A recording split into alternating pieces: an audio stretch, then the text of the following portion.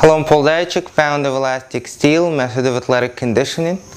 Today we're going to talk about split and foot positions and how that affects the split. No, I didn't switch from martial arts to dancing or gymnastics.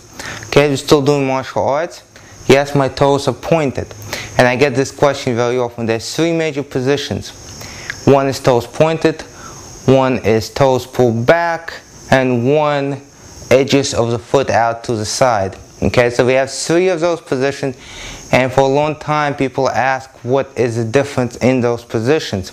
Well, most martial artists prefer this position, toes pulled back.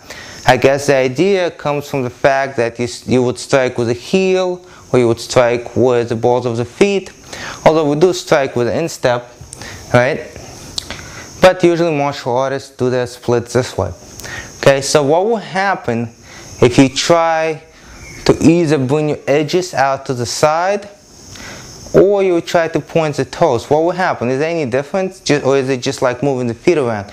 Well, believe it or not, there is a difference. I'm going to talk to you about that now. So if you have watched my previous videos, you know that if we bring the edges forward, this allows us to bring the foot from the vertical, I'm talking about let's say my right foot right now, from the vertical, as I do this, not only turns, it also comes forward, okay, like so.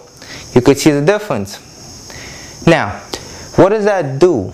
If I was to keep this position, bring it up, and now put it flat, now I have my toes going back and my knees are not straight up, they're slightly back. This makes a difference. The reason this makes a difference because my heels are now slightly more forward than my toes, okay? So my heels are a little bit more forward than my toes are. My toes are behind my heels.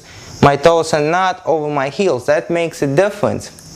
What that really does, it forces you to slightly oversplit, believe it or not. Okay? So I'm to lean forward now and demonstrate the same thing. Okay? Now, if you were to place your heel while doing a split, let's say on a little yoga block or on a book, in order to oversplit, there will be a space, right? Right now there's no space. But if you were to lean forward and place it on something, there will be space. Guess what? Now there's space. No space, space. You could see that space right here. Okay, you could see it here. Now there's no space. So what does that do? That space forces you to oversplit. The same thing happens when you point the toes. There's no space here, but as you point the toes, there's space. That space forces you to oversplit. More for the hamstrings while sitting down this way, but as you lean forward a little bit, this becomes more for your adductors.